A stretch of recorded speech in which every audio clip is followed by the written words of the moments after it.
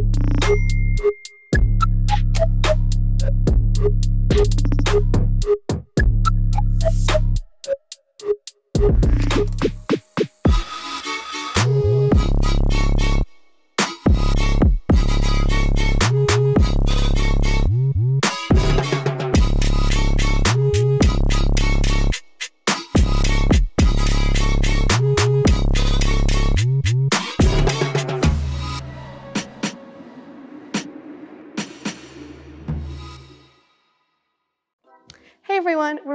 Awesome series called Start the Party. In this series, we're talking about the promise Jesus made about getting the most out of life. Of course, we're not talking about a literal party. When we say party, we mean any effort to celebrate, serve, or enjoy being with others in a way that adds value to life. Being a party starter means being someone who makes space for that to happen however they can. This week, we're gonna talk about one specific way we can all choose to be party starters. But before we do, let me ask you a question. Have you ever needed a rescue? Ever found yourself in a situation where you needed somebody to step in and help out? Well, I have. so a few months ago, when I first got my license, I drove to an art show in Ventura where I met some friends. It was one of the first times I had driven on the freeway alone, so I was a little scared. But I got there and everything was fine and I felt accomplished that I drove all that way all alone. Anyways, everything was going fine, I had a great time, and when it was time for me to make my way back home, I felt confident that I could make the drive back home. I got to my car and I put the key in the, in the ignition, but it wouldn't start. I tried to turn on the interior light, but it wouldn't work either. I realized I must have left my lights on or something, but my battery was dead.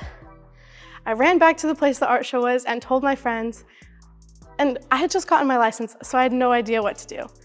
But after freaking out about how I was gonna get home for a little, I finally calmed down and my friends and I decided to ask the guy who was working at the art show if he could help.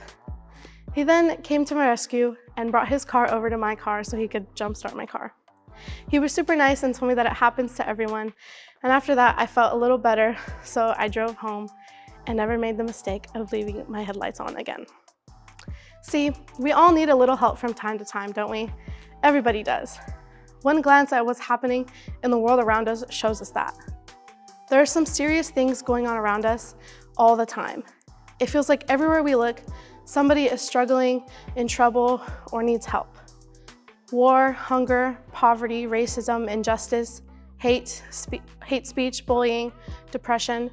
People are facing some heavy realities each and every day. But even though that's sad, there's something else that's true about all of you. You care. It's one of the things I love about our generation. Maybe more than any gener generation before us, we're aware of the needs in the world around us. We see the wrong in the world, we read about it, we speak up, we post about it, and we support the cause in our own way. That's an incredible way to be a party starter. But sometimes, all that need in the world can be overwhelming. With so much, with so much access to what's happening, not just in our world, but in the entire world, it's easy to feel worn out by the pain around us.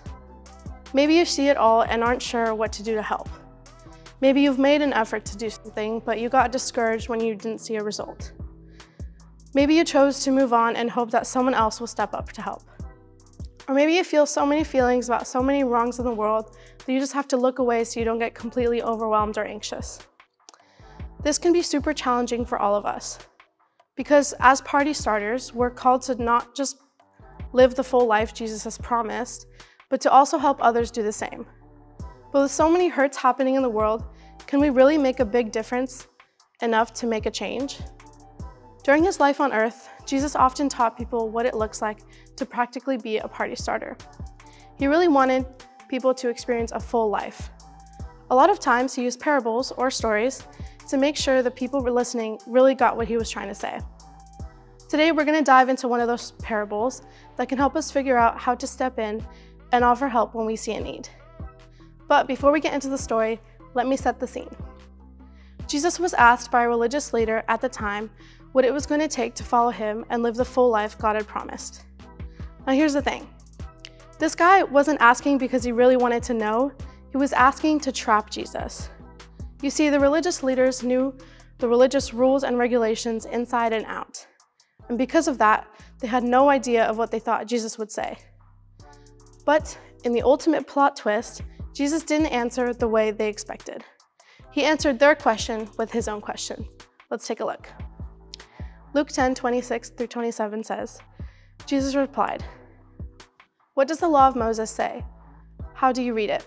The man answered, You must love the Lord your God with all your heart, all your soul, all your strength, and all your mind, and love your neighbor as yourself. Sounds simple enough, right? Love God, love yourself, and love your neighbor.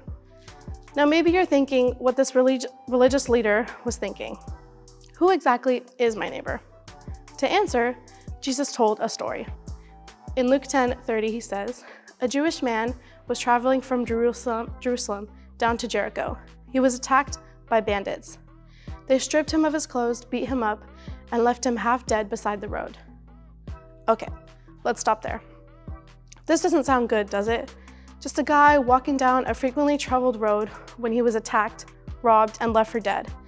You think that the first person who walked by would step up and help, but they didn't. Jesus goes on to say, a Jewish priest saw this wounded traveler and kept walking. A Levite, a man who was also a spiritual leader in ancient Jewish society, came by this next guy and he kept walking too. At this point, this guy probably felt like help was most definitely not on the way. But then something incredible happens. Luke 10:33 says, Then a despised Samaritan came along. When he saw the man, he felt compassion for him. So, let's break, let's break it down character by character. Samaritan uses his power to take care of the person no one expects him to take care of. Jesus uses his power to elevate the voice and the dignity of the Samaritan. Jesus is challenging the prejudice of religion the religious leaders, known for using their power to abuse, ignore, and let other people down.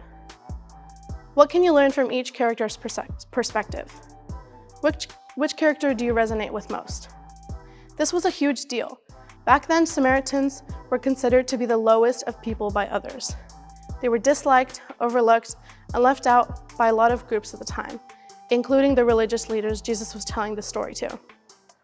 But instead of letting them see the Samaritan as the villain, Jesus made the Samaritan the hero. The Samaritan didn't just see this Jewish man wounded on the side of the road and walked by. The Samaritan didn't choose to do nothing because of the differences between their two groups. Instead, the Samaritan felt compassion for the man, and that compassion motivated him to act. Jesus says the Samaritan in the story took care of the Jewish man's wounds, transported him to, the, to an inn where he could rest, and paid for every single thing he needed while he was there. Jesus made sure this guy did it all. Not because he had to, not because he wanted to hold it over this Jewish man's head, not to make himself look better, not because it would stop this from ever happening again. No, the Samaritan man helped because he was loving his neighbor as himself. See, when this religious leader asked Jesus who his neighbor was, he was basically saying, Who am I obliged to help? Is it just the people I'm close to? The people who are the same as I am? The people who I think deserve it? But with this story, Jesus' answer was clear. Everyone is your neighbor. When we love Jesus and follow him, we have the responsibility to start the party simply by loving everyone in this world as our neighbor. One of the simplest yet most visually exciting party decorations that come to mind is the balloon. It can be a reminder to us to use what we have as a way to see, celebrate, and be with others. It just takes a little bit of air to create a big impact. But here's the most important thing. We get to be party starters for everyone, even the people unlike us, even the people we dislike, even the people who don't like us, and even the people we'd like to ignore. See, the Samaritan wasn't just a neighbor. He was a party starter. Here's why. A party starter uses what they have for the good of others. Does that mean you have to help every single person in the world? That you have to support every cause, respond to every hurt, and show up to help every single time there's a need? No, you can't. That's just not possible. But as a party starter, you can choose to do what you can, when you can, to help your neighbor in need. Maybe it's sharing your lunch with someone at school who never has enough. Maybe it's donating your time or money to a cause that you care about. Maybe it's speaking up when you see someone being unkind or discriminating against someone else. Maybe it's just offering a prayer or a kind word to someone who needs it. The important thing to remember is that it isn't about what you do. It's about choosing to see the need and being, and being moved by compassion to meet it. It's about letting God's Spirit lead you to love your neighbor as yourself. Because a party starter uses what they have for the good of others. The good news is you have what it takes to be a party starter right now. With God, you have all you need to love, to love your neighbor. So, to start, ask yourself, who is my neighbor? In other words, who are the people I encounter on a regular basis? In my home, in my neighborhood, in my school, on my social media feed, who can I see as my neighbor? Number two, what do they need? Where are they hurting, struggling, or just in need of a little help? Number three, what do I have? What resources, influence, relationships, or talents do you have that you can leverage for the good of others? Once you've asked yourself all those questions, ask yourself this. Number four. Now, how can I use what I have? Here's an even simpler way to think about this. I'd love for you to type this prayer in your notes app on your phone and start praying it over the next several weeks. God, please open my eyes to needs around me and show me what I can do to help. Help me to love my neighbor as myself. If you don't have a notes app, just write it down somewhere. Remember, this was Jesus' answer to the greatest question. What is the greatest command? It's a big deal. I know some of you might be thinking, be a neighbor? I couldn't possibly do that. I'm just struggling so much that I need someone to be a neighbor to me. If that's you, I want you to know that's okay. That's gonna be all of us from time to time.